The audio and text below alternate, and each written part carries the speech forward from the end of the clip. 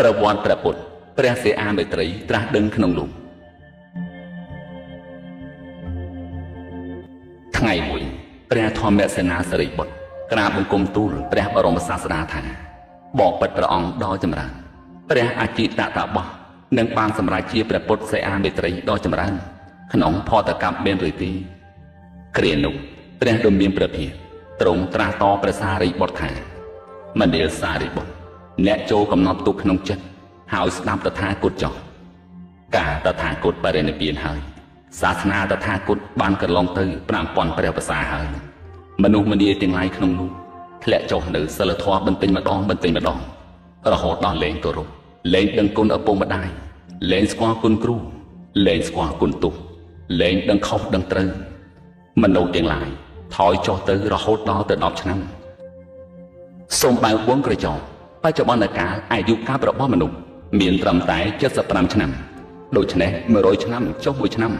រហូតដល់ទៅអាយុកាប់មនុស្សត្រឹមតែ10ឆ្នាំគិតអំពីឆ្នាំនេះទៅនៅសល់6700ឆ្នាំទៀត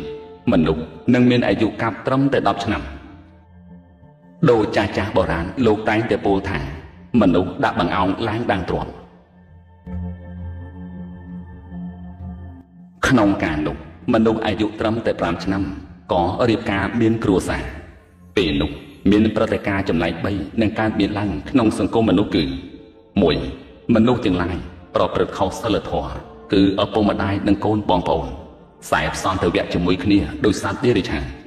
2មនុស្សនិងមនុស្សស្អប់គ្នា ដោយឃើញមុខគ្នាមិនបាន3មនុស្សកាប់សម្លាប់គ្នាដោយសត្វដែលគួរឲ្យខ្លាចតក់ស្លុតយ៉ាងខ្លាំងពេលនោះសន្តរកម្ម បានដល់កៅវិនិច្ឆ័យទៅដោយគ្រឿងសត្រាវុធ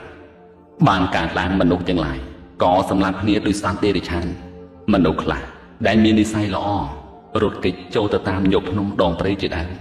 ដោយមិនបានបង្កវិវាទសម្លាប់គ្នាឡើយចំណែកជនពៀទាំងឡាយបាញ់កាប់សម្លាប់គ្នាវិនិច្ឆ័យអស់ដោយអ្នកប្រាជ្ញលោកណែនាំថារយជនណា ដែលប្រាថ្នាកុំឲ្យជួបសន្តរកម្មនោះត្រូវធ្វើទានរក្សាសិលសាងកុសលធម៌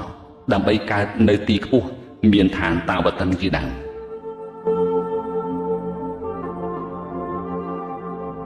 ពេលនោះកន្លងបាន7ថ្ងៃទៅ មនុស្សល្អក៏ចេញអំពីព្រៃឃើញគ្នាញញឹមញញែមរាក់ទាក់រកគ្នាហើយបបួលគ្នារក្សាសិលចម្រើនកម្មដ្ឋានសំណួរសួរថាតើចម្រើនកម្មដ្ឋានដូចម្ដេចចម្លើយឆ្លើយថា ចម្រើនកម្មដ្ឋានពិចារណានៅអត្តភាពនេះថាមិនទៀងជាទុក្ខ ជាអនត្តាមិនស្អាតគួរឲ្យខ្ពើមគ្រានោះមនុស្សទាំងឡាយនាំគ្នារក្សាសិលជានិច្ចនាំឲ្យមានអាយុចម្រើនឡើងវិញកូនរបស់មនុស្សដែលមានអាយុ10ឆ្នាំឡើងរហូតដល់ទៅ20ឆ្នាំ កូនរបស់មនុស្ស20ឆ្នាំឡើងរហូតដល់ទៅ30ឆ្នាំ កូនរបស់មនុស្ស30ឆ្នាំឡើងរហូតដល់ទៅ40ឆ្នាំ កូនរបស់មនុស្ស40ឆ្នាំឡើងរហូតដល់ទៅ50ឆ្នាំ កូនរបស់មនុស្ស50ឆ្នាំឡើងរហូតដល់ទៅ100ឆ្នាំ កូនរបស់មនុស្ស100ឆ្នាំឡើងរហូតដល់ទៅ1000ឆ្នាំកូនរបស់មនុស្ស1000ឆ្នាំឡើងរហូតដល់ទៅ10000ឆ្នាំ កូនរបស់មនុស្ស10000ឆ្នាំឡើងរហូតដល់ទៅ1អសង្ខ័យឆ្នាំក្នុងការដែលមនុស្សមានអាយុវែងយ៉ាងនេះក៏នាំគ្នាមានសេចក្តីប្រមាថដោយសម្គាល់ថា ខ្លួនមិនចាស់មិនស្លាប់បណ្ដាលឲ្យអាយុថយចុះអំពីមួយអសង្ខ័យមកវិញគឺ100ឆ្នាំចុះមួយឆ្នាំ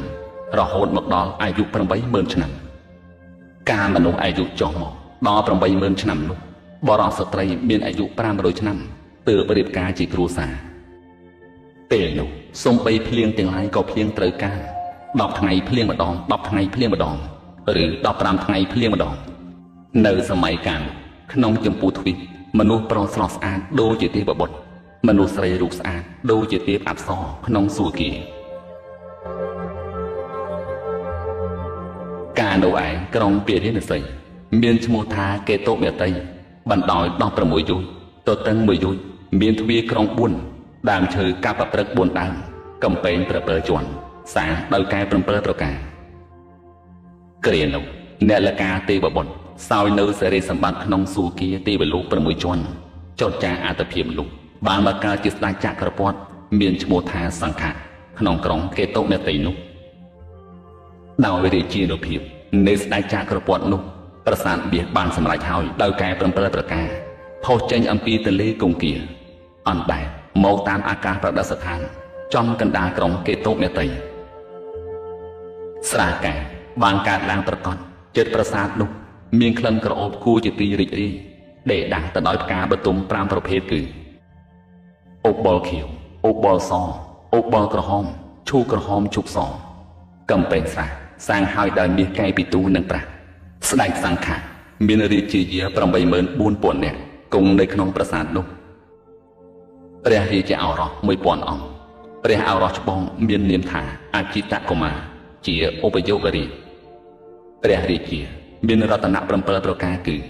ចក្ររដ្ឋ1ហត្ថិរដ្ឋ1អាសរដ្ឋ1មនីរដ្ឋ1ហត្ថិរដ្ឋ1កេហបតិរដ្ឋ1រាប់បរិនិយរដ្ឋ1ផង ជាគម្រោង7ព្រះបាទសង្ឃៈនោះទ្រង់ត្រួតត្រាគ្រប់គ្រងដែនចក្រភពប្រកបដោយធម៌មិនបាច់ប្រើអញ្ញាមិនបាច់ប្រើគ្រឿងសត្រាវុធឡើយក្នុងសម័យកាលនោះមនុស្សទាំងឡាយក្នុងចម្ពោះទ្វីប នឹងមានរូបធម្មជាតិ3គឺឃ្លានអាហារមួយ បន្ទោបងទឹកម៉ូតគឺទឹកនោមនិងលាមកមួយ និងចាស់ចរាមរណៈមួយ ក្រៅពីនេះពុំមានជំងឺអ្វីផ្សេងផ្សេងមកបៀតបៀនឡើយ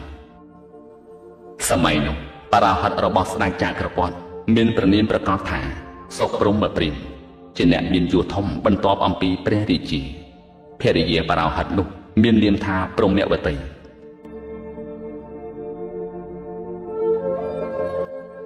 ពេលនោះព្រះសិហាមិត្រីពោធិសត្វដែលពួកទេវតាទាំងឡាយបានអរតនីហើយ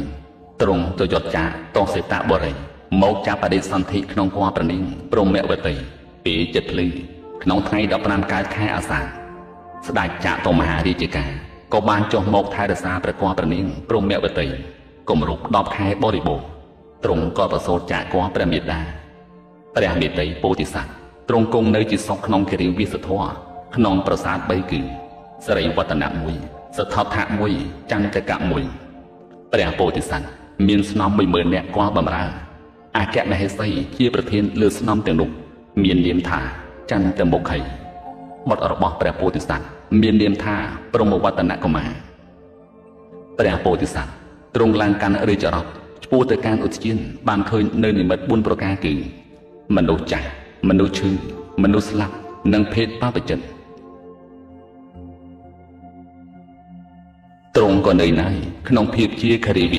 ពេញប្រតិក្នុងភេទជាបាបចិត្តហើយទ្រង់ក៏ត្រឡប់មកកាន់ប្រាសាទវិញពេលនោះស្រាប់តែប្រាសាទអណ្ដែតហោះឡើងឯកក្នុងអាកាសដូចជាសត្វហង្សពួកទេវតានាំគ្នាយកកម្រងផ្កាមាលាមកបូជាចំពោះព្រះពោធិសត្វស្ដេចចក្រពត្តិសង្ឃៈព្រមទាំងអ្នកនិគមជនបទ84000ក្រុងក៏នាំគ្នាធ្វើការបូជា ចំពោះព្រះពោធិសត្វដូចដូចគ្នា ស្ដេចអសុររីជាអ្នកថែរក្សាប្រាសាទស្ដេចនិគរីកាន់យកកែមនី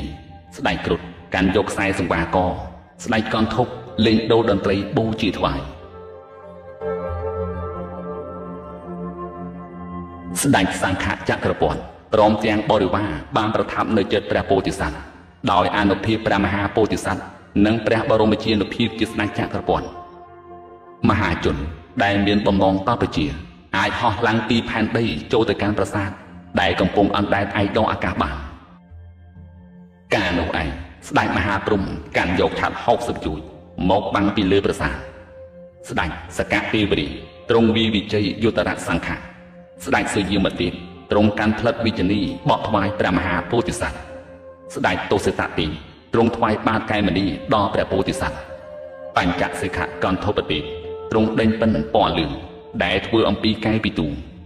ស្ដេចមហាព្រំកាន់យកប្រខ័ណ្ឌឈរការពារក្នុងទិសទាំង4ពួកមនុស្សទេវតាកន្ធពយៈនាគនិងគ្រុឌសុទ្ធតែចំរួមព្រះមហាពោធិសត្វ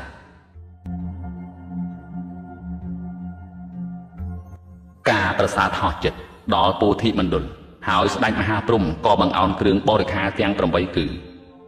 សង្ឃេដី1ជ័យពោ1ស្បង់1វត្តពុនចង្កេះ1បាត1 កំបិតកោមួយមជុលមួយថមអក្រក់ឬតម្រង់ទឹកមួយវត្ថុទាំងនោះដែលសម្រេចអំពីរិទ្ធថ្វាយព្រះពោធិសត្វ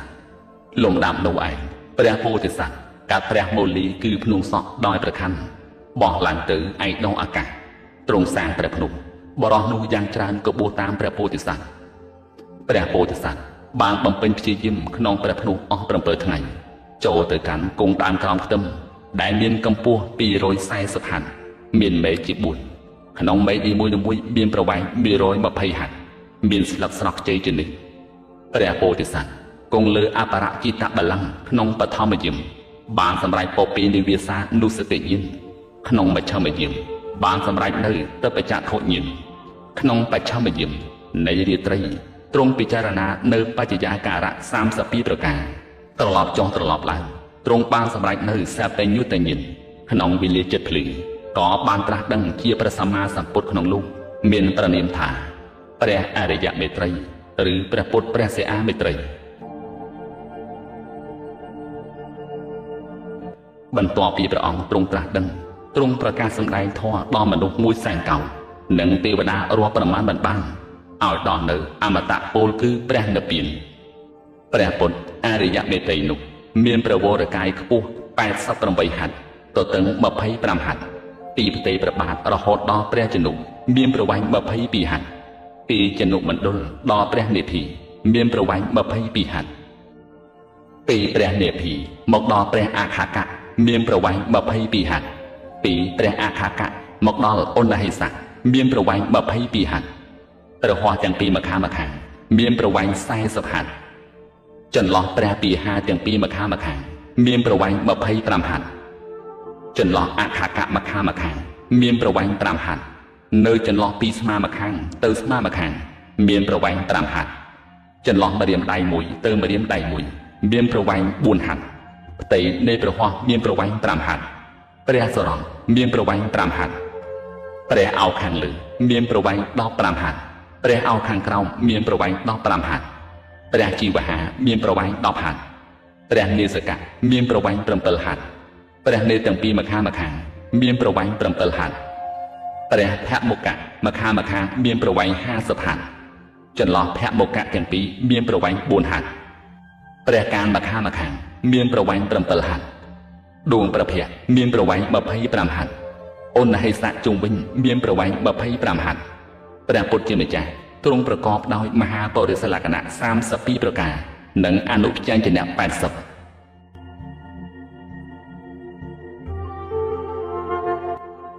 ព្រះឆាពនវង្សីបញ្ចេញរស្មីអំពីវរកាយរបស់ព្រះដែលមានព្រះភិក្ខជាម្ចាស់អង្គនោះហាក់ដូចជាខ្សែទឹកហូរធ្លាក់អំពីឆ្នាំងមាសមានពន្លឺលិះលុបលើសពន្លឺរបស់ដួងច័ន្ទនិងដួងអាទិត្យផ្សាយទៅមើលចក្រវាលពន្លឺគឺស្វាងច្បាស់ប្រកបតាំងនៅរហូតអស់ការទាំងយប់ទាំងថ្ងៃមនុស្សទាំងឡាយមិនអាចកំណត់ដឹងថា ពេលនេះជាពេលយប់ឬពេលថ្ងៃឡើយ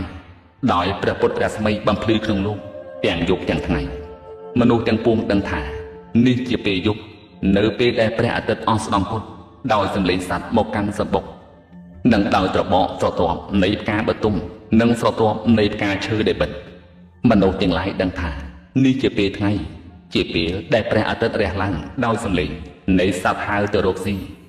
ដោយស្រទាប់នៃផ្កាបទុមនិងផ្កាឈើរីកឡើងលំដាប់នោះផ្កាបទុមធំធំត្របកស្រទាប់ខាងក្រៅ30ហត្ថ ស្រទាប់ខាងក្នុង25ហត្ថកេសរ20ហត្ថមានតងដល់6ហត្ថលំអងកេសរផ្សាយទៅក្នុងអាកាសជ្រៃព្រឹត្តិពីដោះឡើងរោមចាំទទួលស្នាមប្របាទដែលទ្រង់ឈានទៅហើយគ្រប់រូបជំហាននៃការឈានរបស់ព្រះសម្មាសម្ពុទ្ធអង្គនោះក្នុងសម័យកាលនោះមនុស្សទាំងពួងមិនចាំបាច់ត្រូវទៅជួស្រែមិនទៅធ្វើចំការជួញដូរ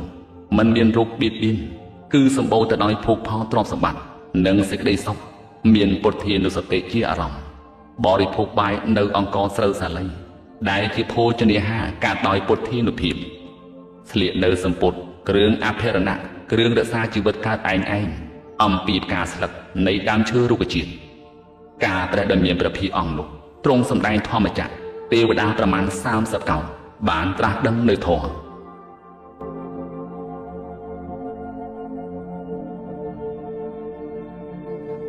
ព្រះពុទ្ធបរមគ្រូត្រាស់ជាមួយនឹងព្រះសារីបុត្រថាមនាសារីបុត្រព្រះពុទ្ធអរិយមេត្រីអង្គនោះទ្រង់បានបំពេញបារមី10ប្រការទ្រង់បានបារមីមួយប្រកបជាច្បាស់ទ្រង់បានទទួលពុទ្ធសម្បត្តិក្នុងលោកដោយពុទ្ធសេរីដែលមិនមានអ្វីប្រៀបបានដោយពុទ្ធលីលារកទីបំផុតមិនមានដោយប្រការដូចនេះលំដាប់នោះព្រះសារីបុត្រ ក្រាបទូលព្រះសាស្តាថាបបិទ្ធព្រះអង្គដ៏ចម្រើន បារមីមួយប្រកបដល់ព្រះអរិយមេត្រីតើដូចម្ដេចព្រះបរមសាស្តាទ្រង់នាំយកអតីតនិទានមកសម្ដែងថា ក្នុងសម័យកាលព្រះពុទ្ធសរិមតៈទ្រង់ត្រាស់ដឹងក្នុងនោះក្នុងកាលនោះអរិយមេត្រីពោធិសត្វបានកើតជាស្ដេចនាមព្រះបាទសង្ឃចក្រពតិរីសូមបាំងពួងក្រចកស្ដេចសង្ឃចក្រពតិរីជា អង្គព្រះពោធិសត្វអរិយមេត្រីដែលមាននាមដោយសង្ឃចក្រពតនៃក្រុងកេតុមេត្រីនាពេលសម័យមេត្រីព្រះពុទ្ធត្រាស់ដឹងក្នុងលោកក្នុងអន្តបនគរព្រះរាជាអង្គនោះទ្រង់បរិបូរដោយកែ7ប្រការគឺចក្ររដ្ឋ1ហត្ថិរដ្ឋ1អាសរដ្ឋ1មនិរដ្ឋ1អថិរដ្ឋ1កហបតីរដ្ឋ1បរិនិយរដ្ឋ1អន្តបនគរ មានបណ្ដោយ7យុយទទឹង3យុយមានទ្វារក្រុង4និងដើមកັບប្រព្រឹត្តកើតឡើង4ដើមត្រង់កណ្ដាលក្រុង មានប្រាសាទមួយខ្នងកម្ពស់7ជាន់បណ្ដោយពីយុយព្រះបាទសង្ឃចក្រពតសាងរាជមហាសម្បត្តិក្នុងប្រាសាទនោះព្រះពុទ្ធសិរិមតៈទ្រង់ឧបដឹកឡើងក្នុងនោះព្រះពុទ្ធអង្គនោះទ្រង់គង់ប្រថាប់ឆ្ងាយអំពីអន្តបតកោមានប្រមាណ16យុយ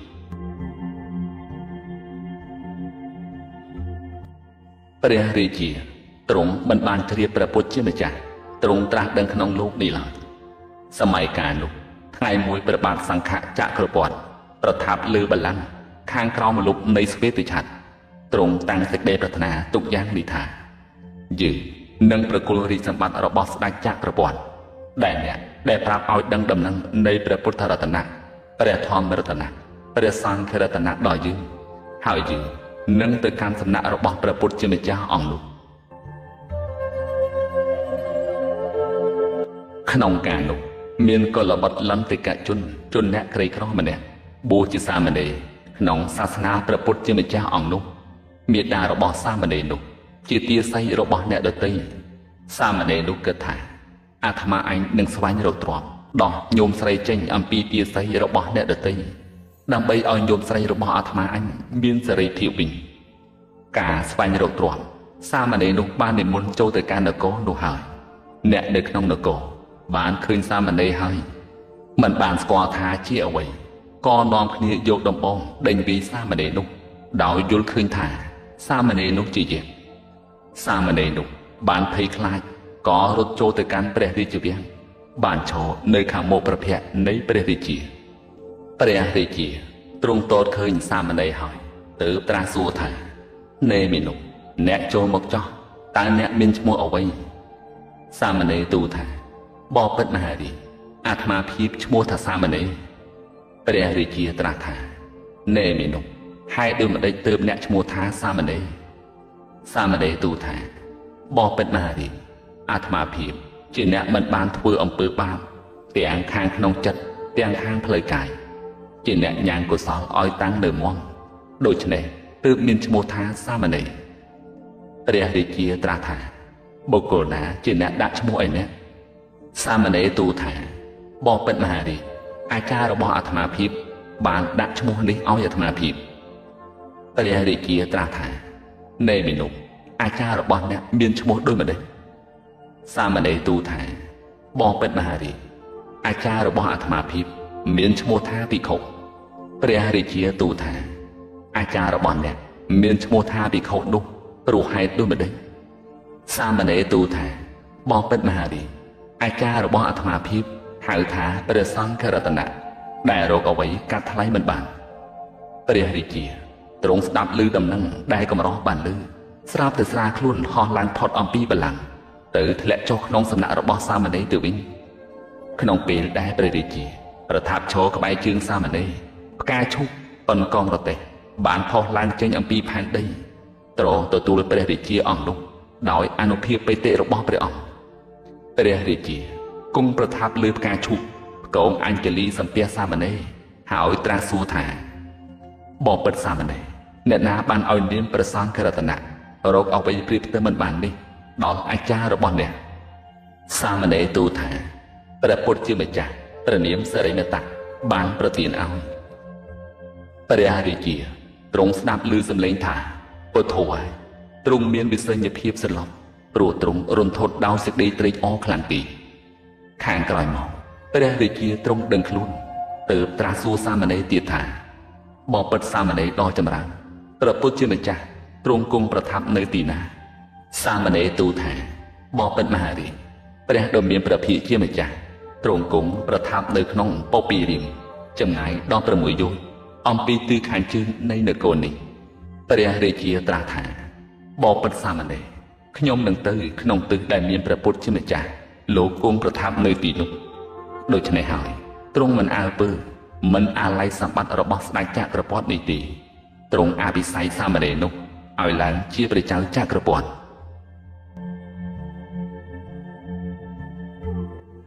ព្រះរាជា ការទ្រង់អភិសេកសាមណេរក្នុងរាជសម្បត្តិហើយព្រះអង្គទ្រង់ឈ្មោះព្រះភ័ក្ត្រទៅទិសឧត្តរស្ដេចយាងទៅកាន់ទីគង់អាស្រ័យរបស់ព្រះពុទ្ធសរិមតៈជាម្ចាស់តែមួយព្រះអង្គឯងកាលព្រះរាជាអង្គនោះទ្រង់ជាក្សត្រមានសុខុមាលជាតិស្ដេចយាងទៅដោយព្រះរាជដំណើរដោយព្រះបាទផ្ទាល់ក្នុងរយៈពេលត្រឹមតែមួយថ្ងៃព្រះបាទក៏បានបែកហូរឈាមព្រះលោហិតហូរចេញអំពីព្រះបាទទាំងគូ ការព្រះបាទទាំងគូបែកព្រះលោហិតហើយព្រះរាជាយាងវាដោយចង្គង់នឹងព្រះហស្ថទាំងពីរអស់រយៈពេល3ថ្ងៃក្នុងថ្ងៃទី4ព្រះលោហិតទើបហូរចេញអំពីព្រះហស្ថនិងចង្គង់ទាំងពីរក្នុងការនោះព្រះរាជាទ្រង់មានព្រះតម្រិះថា យើងនឹងទៅដោយការលូនយ៉ាងពិតប្រាកដទើបទ្រង់ ធ្វើដំណើរដោយការលូនដោយព្រះអូរៈគឺទ្រង់ក្នុងពេលជាខាងក្រោយព្រះរាជា ការទ្រង់លូនទៅដោយព្រះអូរៈគឺទ្រង់នោះទ្រង់លំបាកយ៉ាងខ្លាំងក្លាមិនមានឆន្ទៈដាក់ចុះដោយមានចិត្តមោះមុតឆ្ពោះទៅគាល់ព្រះពុទ្ធសរិមតា ជាគោលសំខាន់ទ្រង់អត់ទ្រាំទាំងទុក្ខវេទនាខំធ្វើដំណើរដោយការលួនបន្តទៅទៀតក្នុងការនោះ ព្រះដ៏មានព្រះភិក្ខជាម្ចាស់ព្រះសិរិមតៈទ្រង់មានព្រះមហាករុណាទីគុណប្រមាមើលសត្វលោកស្ពេញយុទ្ធញានទ្រង់ឃើញកម្លាំងនៃវិរិយភាពរបស់ព្រះអង្គនោះទើបទ្រង់ព្រះចិន្តាថាព្រះរាជាអង្គនេះជាពុទ្ធង្គោលពុទ្ធជីពនិងជាពុទ្ធវង្សព្រោះអាស្រ័យតថាគតទើបសោយទុកដ៏ធ្ងន់ចំណែកតថាគតនឹងទៅកាន់សំណាក់របស់ព្រះរាជាអង្គនោះដូច្នេះហើយ ទើបព្រះពុទ្ធដ៏មានសេរីថ្លែងអត្តភាពជាបរោះម្នាក់បរត់គឺរទេះឆ្ពោះទៅកាន់ទីព្រះបាទសង្ឃចក្រពតនោះ ការព្រះពុទ្ធជាម្ចាស់យាងទៅដល់ហើយបានប្រថាប់ឈរនៅត្រង់ពីមុខព្រះភ័ក្ត្រនៃស្ដេចចក្រពតព្រះដ៏មានព្រះភិក្ខជាម្ចាស់ទ្រង់ត្រាស់ថាមនាអ្នកដ៏ចម្រើនលោកធ្វើដំណើរដោយការលូនចូលជាចេញយើងត្រូវការបោះរត់ទៅមុខព្រះរាជាទ្រង់ស្ដាប់ព្រះតម្រាស់នេះហើយត្រាស់ថា មនីសារថីដ៏ចម្រើនការយើងដើរទៅផ្លូវដោយការឈ្មោះទៅមុខត្រង់ទីដែលគួរទៅហេតុអ្វីទើបយើងត្រូវថយចេញយើងប្រកាន់យកព្រះពុទ្ធជាម្ចាស់ជាប្រមុខមានព្រះពុទ្ធជាអារម្មណ៍ទោះបីអ្នកបញ្ជារត់របស់អ្នកឲ្យជន់លើខ្លួនប្រាណរបស់យើងក្តីយើងនឹងមិនជាចេញអំពីផ្លូវដល់អ្នកទេព្រះដ៏មានព្រះភិក្ខទ្រង់ត្រាស់ថាមនាលមេនុកដ៏ចម្រើនប្រសិនបើអ្នក ទៅកាន់សំណាក់របស់ព្រះពុទ្ធជាម្ចាស់នោះចូលអ្នកឡើងរត់យើងចោះយើងនឹងទៅកាន់សំណាក់របស់ព្រះពុទ្ធជាម្ចាស់ដែរព្រះរាជាទ្រង់ស្ដាប់ពាក្យនេះហើយទ្រង់ទទួលពាក្យថាល្អហើយស្ដេចឡើងរត់ហើយព្រះដ៏មានព្រះភិក្ខជាម្ចាស់ស្ដេចបែរព្រះភ័ក្ត្រទៅវត្តពោពីរៀមព្រមដោយព្រះរាជា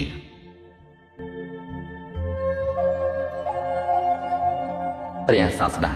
ស្ដេចយាងដល់ត្រឹមពាក់កណ្ដាលផ្លូវ ក្នុងការនោះនាងសុជាតាចុះអំពីសួគាតាវតឹងនិមិត្តជាភេទបរោះកាន់ឆ្នាំងបាយទឹកមកឈរអំពីមុខរត់ហើយពោលថាមនាសារថីដ៏ចម្រើនប្រសិនបើលោកត្រូវការឆ្នាំងបាយទឹកនៃមួយឆ្នាំងនេះ យើងនឹងឲ្យដល់លោកតែបើលោកមិនត្រូវការទេយើងនឹងបោះចោលនាយសារថីពោលថាមនាលមានុកដ៏ចម្រើនខ្ញុំមានបរោះម្នាក់មានទុពលភាព សូមអ្នកឲ្យបាយដល់យើងដើម្បីបរោះនេះចោះនាងសុជាតា បានឲ្យផតដល់នេះសារថីហើយលំដាប់លុបព្រះដ៏មានព្រះភិយជាម្ចាស់ទទួលផតហើយបានប្រទានដល់ព្រះរាជាហើយ ក្នុងការនោះសកទេវរីទ្រង់កាន់ទឹកទឹកយាងចុះអំពីសួរជន់តាវតឹងផ្លែងភេទជាបរោះស្ពីទឹកមួយបំពង់ស្ដេចយាងមកហើយត្រាស់ពាក្យនោះដូចគ្នា ហើយប្រទានទឹកនោះដល់នីសារថីដូចគ្នា ព្រះបាទសង្ឃចក្រពន្ធទ្រង់សោយព្រះកិយាទឹកទឹកទឹកក្នុងពេលដែលសោយរួចហើយស្រេចហើយដោយអនុភាពប្រយាទឹកទឹកទឹកស្នាមរបួសទាំងពួងក៏វិនិច្ឆ័យទៅព្រះរាជា មានសេចក្តីសុខយ៉ាងផ្លូវកាយនិងផ្លូវចិត្តឡើងវិញព្រះពុទ្ធសរិមតៈនិមន្តយាងទៅដល់វត្តពោពីរៀមហើយព្រះអង្គត្រឡប់ភេទជានីសារថីមកជាពុទ្ធអង្គវិញ ហើយគង់ប្រថាប់លើពុទ្ធាសនៈដែលបានក្រាទុកហើយ ក្នុងវេលាដែលព្រះដមានប្រភិជាម្ចាស់គង់ប្រថាប់ក្នុងវត្តពោពីរៀមព្រះរាជាស្ដេចចុះអំពីរត់ទ្រង់ចូលទៅក្នុងវត្តពោពីរៀមគ្រាន់តែទតប្រណិតឃើញព្រះពុទ្ធរស្មីភ្លាមទ្រង់ក៏មានវិសញ្ញភាពម្ដងទៀតព្រះបរមសាស្តាត្រាស់ថាមនិលមហាបរោះព្រះពុទ្ធជាម្ចាស់គង់ប្រថាប់ក្នុងទីនេះភ្លាមនោះឯងព្រះរាជាទ្រង់ដឹងខ្លួនឡើងស្ដេចចូលទៅចិត្តព្រះបរមសាស្តាអង្គុយនៅក្នុងទីដសំគូ ហើយផ្គងអញ្ជលីក្រាបបង្គំទូលព្រះដ៏មានព្រះភិក្ខជាម្ចាស់ដូចនេះថាបងពិតព្រះអង្គដ៏ចម្រើនព្រះអង្គជាប្រធាននៃលោកព្រះអង្គជាទីពឹងរបស់សត្វលោកសូមព្រះអង្គសម្ដែងធម៌ដ៏ខ្ពស់បំផុត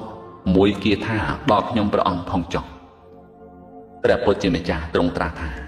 មហាបពិតសូមព្រះអង្គទ្រង់សន្តាប់ទ្រង់ពិចារណាធម្មកថាគឺនៅពៀនចុះទ្រង់បានសម្ដែងធម៌ប្រោះព្រះរាជាហើយ ព្រះរាជាទ្រង់ស្ដាប់ព្រះធម្មបទមួយបទហើយទូលខត់ថាបបិទ្ធព្រះអង្គដ៏ចម្រើនព្រះដ៏មានព្រះភិក្ខសម្ដែងធម៌ត្រឹមតែប៉ុណ្ណោះចុះសូមព្រះអង្គទ្រង់កុំសម្ដែងព្រះធម្មបទដទៃទៀតឡើយសំលូសួរថាព្រោះហេតុអ្វីទើបព្រះរាជាទ្រង់អង្គបខាត់ព្រះពុទ្ធជាម្ចាស់មិនឲ្យទ្រង់សម្ដែងធម្មបទបន្តទៀតចម្លើយឆ្លើយថាព្រះរាជាទ្រង់ត្រេះរិះថា ប្រសិនបើព្រះពុទ្ធជាម្ចាស់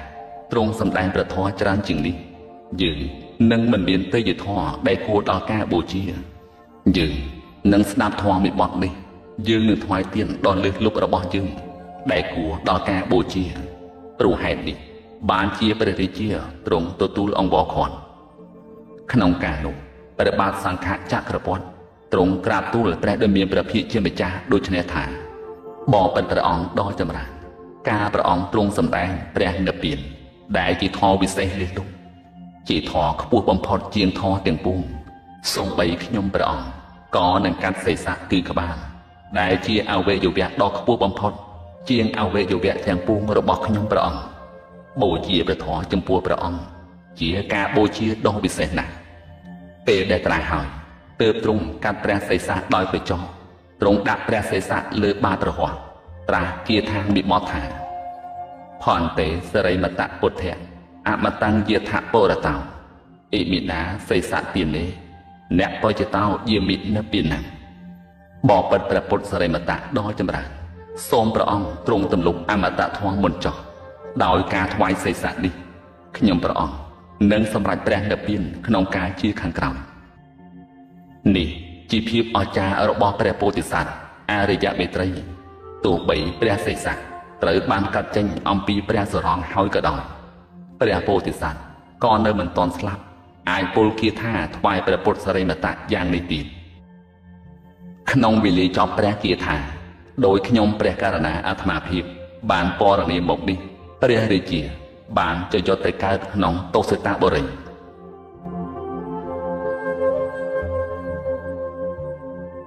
ព្រះពុទ្ធសមណគោដមបរមគ្រូ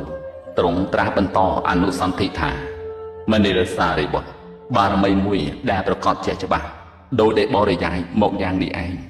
មនិរសារិបុត្រព្រះដ៏មានព្រះភិក្ខជាម្ចាស់ទ្រង់ប្រណិនថាអរិយបេតីព្រោះផលនៃការថ្វាយសេសៈឲ្យជាទានទ្រង់មានព្រះវរកាយខ្ពស់88ហត្ថព្រោះផលនៃការហូរឈាមធ្លាក់អំពីព្រះបាទនិងព្រះជនុគឺជង្គង់ ទើបទ្រង់មានពលឺភ្លឺទាំងយប់ទាំងថ្ងៃព្រោះផលនៃលោហិតដែលហូរធ្លាក់ចុះអំពីសេសាព្រះពុទ្ធរស្មីនឹងមានដល់អវិជ័យនរកនិងភគវៈព្រំព្រោះផលនៃលោហិតលើព្រះសេសានឹងមានពន្លឺភ្លឺស្វាងអំពីព្រះអូណាឡោមគឺរួមប្រជុំចិញ្ចាំងមិនអាចកំណត់បានព្រោះផលដ៏ក្រៃលែងយាងដើរទៅមួយសប្តាហ៍ទ្រង់បានកាត់ឡើងនៅដើមកັບប្រព្រឹត្តមួយដើម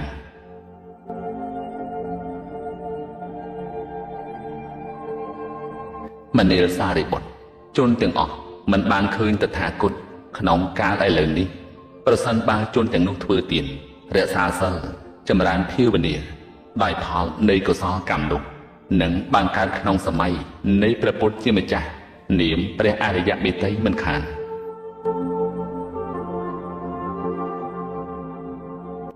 សាធុវោអស់លោកអ្នកសាធុសពអរោះទាំងឡាយជាអ្នកស្ដាប់ដោយដែលអាត្មាភាព បានអត្ថាធិប្បាយជាសម្លេងកន្លងមកហើយយើងអាចសន្និដ្ឋានបានថាព្រះសិអាមិត្រី សាងព្រះពុទ្ធការកធម៌ក្រាស់ដោយវិរិយៈគឺការព្យាយាមជាវិរិយថឹកចំនួន16អសង្ខ័យនិង1សែនកម្មបន្ទាប់អំពីបានទទួលព្យាករលើកទី1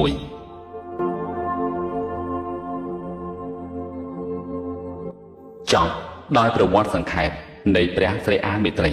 អត្ថាធិប្បាយជាសម្លេងដោ ខ្ញុំព្រះករុណាអាត្មាភាពព្រះភិក្ខុធម្មវិជតោបកតុង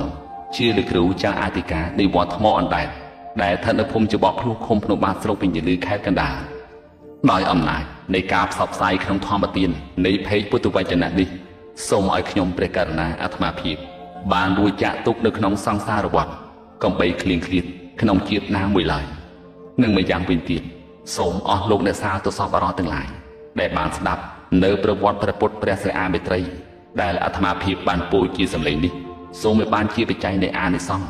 ក្នុងការរួចចាក់ទុកនៅក្នុងសង្សារវដ្តកំបីគ្លៀងគ្លៀតក្នុងជាតិដូចដូចគ្នាសូមអរព្រគុណនិងអរគុណ